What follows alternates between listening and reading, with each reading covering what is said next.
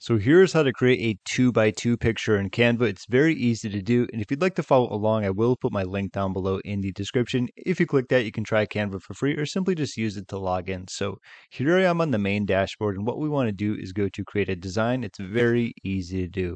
Let's say we want to do something a little bit different. So what we can do is scroll down and just simply go to custom size. From here, what we want to do is change this. So instead of pixels, we can do inches. And from here, we have two by two. We can create a new design and go from there.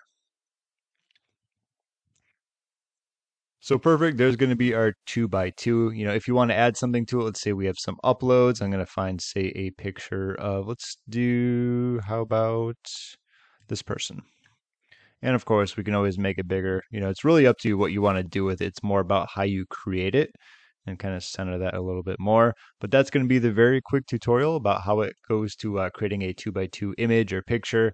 You know, what you do with it is up to you. I just want to make sure you know how to do it. It's all about like creating a new document with these specific sizes. Usually you're not too like familiar with where that is, but once you know, it's going to be easy to remember. If you have any questions, feel free to leave a comment down below. My name is James. Thank you so much for watching and I will see you in my next video.